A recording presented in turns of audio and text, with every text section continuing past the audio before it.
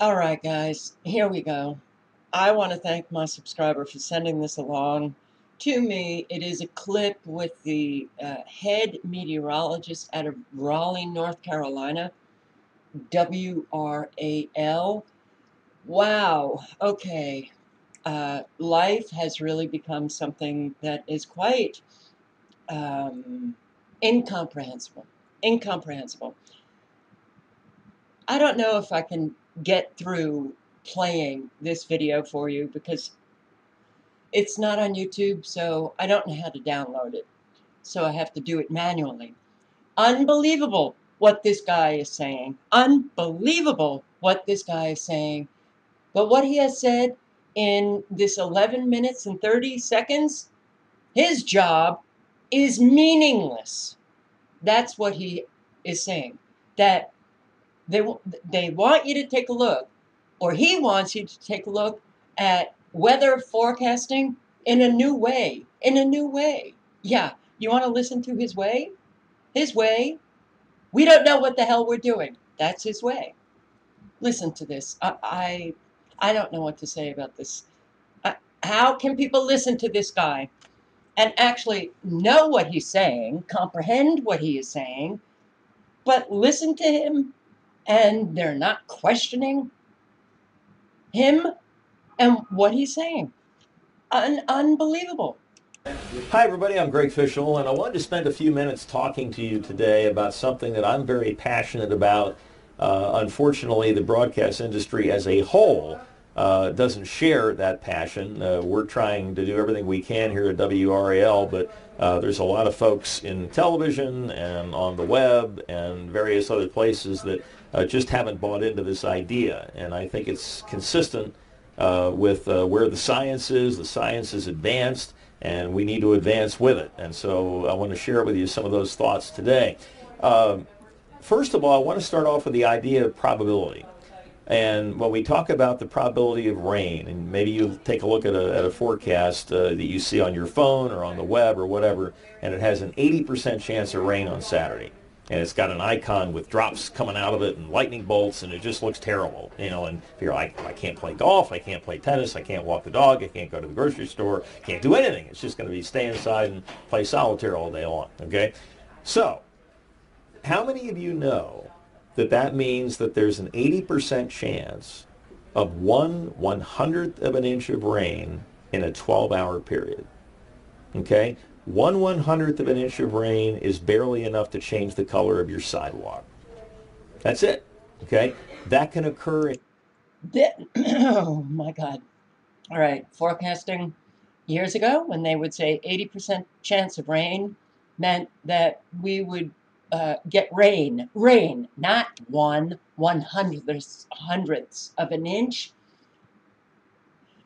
I, are they are, are these people thinking that you have no memory of yesterday? That your memory is gone? And they are inputting new information into your brain? Like you don't have information in there already that contradicts everything that they're saying? I think that's how most people are today. They don't, they don't, it doesn't matter even if they have a memory. They're just Oh my God, we are in such trouble. In we two minutes, or even less. Trouble. So if you have a 12-hour period and it rains for two minutes, you get your one one hundredth of an inch of rain. You've got 11 hours and 58 minutes left where it's not doing anything, and you can get outside and do whatever you want with no interference from the sky at all. The percentage has nothing to do with the duration of rain, uh, necessarily the coverage of rain, none of that. Okay, but yet it can be a very misleading uh, picture when you see those icons with all those drops and you see the high probability. And this was used as an excuse, myself included, for the longest time that, oh, well, the public doesn't understand probabilities, and so, you know, we shouldn't use them. Well, you know what? I think we're all a lot smarter than we give ourselves credit for. I think all of you are really, really smart folks, and I think if we talk about this in a reasonable way that you will begin to see the benefits as I have of this approach. Now, you already use this type of thinking in your everyday life. For instance, when you get in the car in the morning to go to work, whether or not you realize it or not, you are assessing a risk. Is it worth the risk of being in an accident to get to work today? What's the chance of that happening? Is it It's clear that this guy does not think that you're smart. He how what motivates somebody to put up a video like this? What motivates them? I believe what has motivated this guy to put up this video is he knows that the weather is being controlled by man and the controls sometimes slip up and they don't know what they're doing or they have not achieved the success uh, of the um, the weather event that they wanted to occur and these meteorologists have to give themselves an out that is the purpose of this video. Now, I am presuming, I don't know this guy, but he's a moron for putting up this video. And he doesn't think that you're smart because he wants you to buy all of the horse shit that that's coming out of his mouth. Yeah, he's got to he has to instruct us on probabilities and he has to tell us we use that you know, it's just kind of automatic in your brain. You assess probabilities all the time. You assess risks all the time. And that's what meteorologists do? Oh my God, please. Is it worth is it worth the risk of being in an accident to get to work and put in my eight hours or six or ten or whatever it is? Okay, so you're already doing that. Supposing somebody told you uh, you you had reservations at a restaurant and they came to you and said, well, based on the last couple of nights, there's a 10% chance that you'll get food poisoning. Would you keep the reservation? 10% doesn't sound like it's that high a probability, but you have to assess the risk as to whether or not you're willing to take that chance. Uh, supposing you have a one-year-old son or daughter and you want them to walk across the street for the first time by themselves and there's a, a Mack truck that you can hear in the distance down there is it worth the risk, even though it's really, really low, of letting him or her walk across the street by themselves and run the risk of that Mack truck speeding up and hitting them? Okay, so these are things that we're doing in our minds all the time already. We're assessing probabilities, assessing risks. And so there's no reason why we can't do this in, in weather forecasting as well. And it used to be that we only had the computing power to take a look at one model forecast. In other words, you know, there was a computer model that had all these incredible equations in it, and you ran it, and it gave you a solution, and that's what you went with. And you know what? You guys used to get it right a lot of the time. Now you don't get it right. Uh, hardly at all. this is the new way. The new way is, well, a whole lot of ways that may manifest or no way at all. That's the new way. Okay. Now, for the first time in human history, we have the computing power to be able to run multiple models based on slightly different starting points. Now, I want to give you an example of this over here. This is actually a, uh, in a sense, a map of what uh, the isobars look like in the upper atmosphere, if you want to look at it that way. And in this particular group, this ensemble group has 21 members to it. And so notice how all the lines, I don't know how well you can see this, but all these lines, the orange lines and the uh, teal lines and the green lines, are all very close together. So what we're doing is changing the initial conditions of the model just slightly to 21 different extents. And then we see what happens as we head out through time. So I'm going to advance this here to maybe 96 hours out, which is four days, okay? So now we're up to 72, and now we're up to 96. Now, if I zoom in, notice how the lines are starting to spread apart a little bit. Those little changes at the beginning are starting to have an impact as we head out in time. And if I go really far down the road, like maybe a week we'll take this up to uh, 168 hours and then zoom in. Notice how it's starting to look like what we call a spaghetti plot, where you've got these lines that are literally almost chaotic. They're all over the place. That's a way that we can measure the uncertainty in the forecast. In other words, if all of these lines a week out were still really close to each other, then that would say, well, the atmosphere is not that sensitive to those little changes in the beginning. And, and by the way, what do those little changes represent? We can't observe the atmosphere perfectly because we don't have enough instrumentation to do that. Okay, there's there's a lot of details in the atmosphere globally, and we can't pick them all up. So by changing the initial conditions a little bit at the beginning, we're in a sense saying, well, what if the air is just a little bit in this direction or just a little bit in this direction? What sort of an impact does that have on the forecast?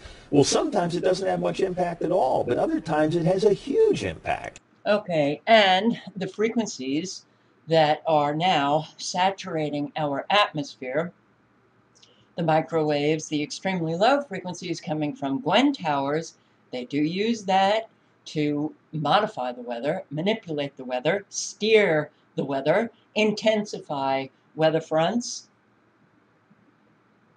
This is the world that we are living in. Oh, little changes in the air. Well, we don't have uh, the instruments to uh, measure every little change in the air. So these little changes, they could have really big impacts. Well, we, if we don't have the instruments to measure those changes, we don't know if our forecasts will ever be right. So you can't count on us. That's essentially what he is saying. And, and would you rather, would you rather me, me simply, simply pick, one, pick, one, roll the dice, roll the dice and, say, and say, I'm picking this I'm one. Out of 21, I rolled the dice, and, and, this is what I came up with and you put and all you your put eggs, all in, your that eggs basket, in, that basket, as opposed as to being able to, tell you, you know, you know, the atmosphere, the atmosphere is in a really unstable, state, state and, and, there are two or three, three equally plausible, plausible scenarios, that could play out here, out here and I want to make you familiar with each one of those three. So no matter what happens, you're adequately prepared for what occurs. I would think, that you would want to know that, okay? okay? Instead of me Instead pretending, of me to be certain, about, something, something when in reality, reality there's no certainty, no certainty to be had because it's a very, very, very complex very situation. situation.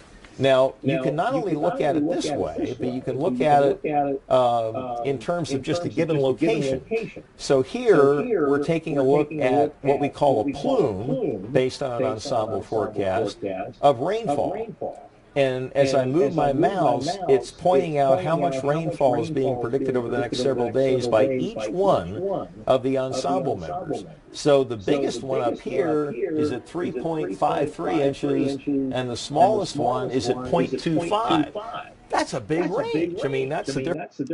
And that's a big out for all of our mainstream media meteorologists. We don't know, we don't know what the weather terrorists have planned for you. So we're just going to tell you everything that could possibly happen. And maybe within that, within all of the possibilities, one of them might occur. Difference between a minor rainfall event and something that could really cause a lot of trouble, and of course if it's in the frozen form, something like 3.53 inches could, could you know, mean a lot of snow or a lot of ice or whatever. So the more spread there is in these lines, the more uncertainty there is, and, and the more difficult it is to pin down a forecast for any one given uh, location. So what we, what we plan to plan do here, here, instead of giving you what we call deterministic model forecasts, where you just take the European model or the American model and you say, here's what it's saying, and seven days out it's getting us seven inches of snow, which is ridiculous too. And that's what they used to do. And they were generally right. Now they're not right. This guy I think that this whole 11 and a half minute speech should result in firing him. Fire him. He doesn't know what the hell is going on, and he's just going to tell you Well, it could be sunny, it could be cloudy, it could be rain, it could be snow, it could be a lot of rain, it could be a little bit of rain.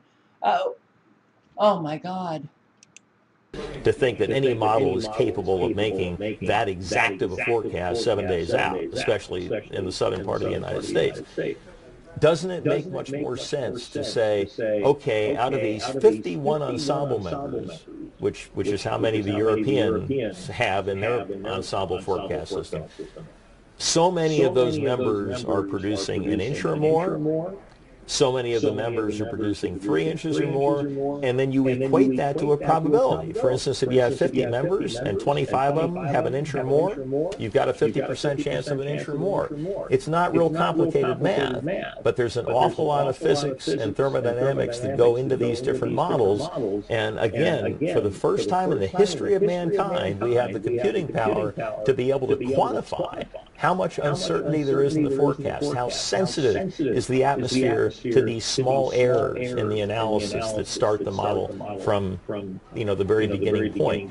And, and this allows us to give you an idea as to how much certainty or uncertainty there is, what the various scenarios are that are most likely to occur, and how you can then use that information in your planning. We all hope that as we get closer to time, the certainty grows, and it normally does.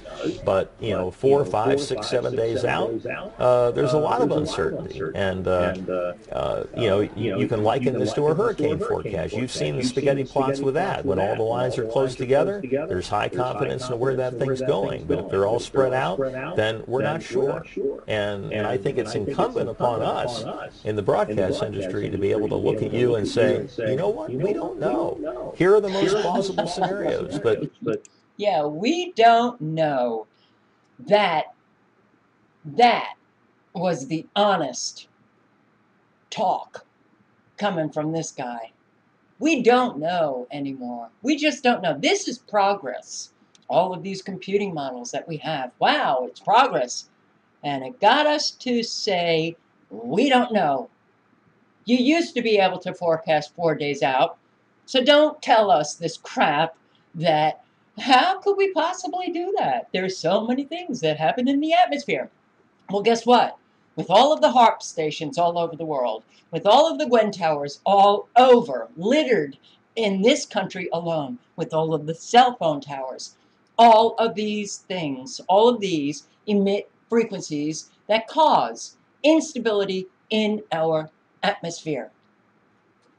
So this guy is telling you, shut up, stop complaining that we can't get it right anymore. I'm explaining why we can't get it right anymore. You've got to look at our forecasting a new way. We can't get it right.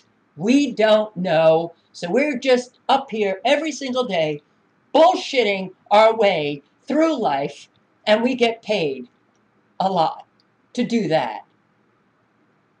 This is now our life. How do you like it? I don't like it. I don't like it. And I can't figure out how to get out of. Ah, there. You know what? This guy, my God. Clearly, he has no shame. 11 and a half minutes. He just reduced himself to a twit. A twit on mainstream media.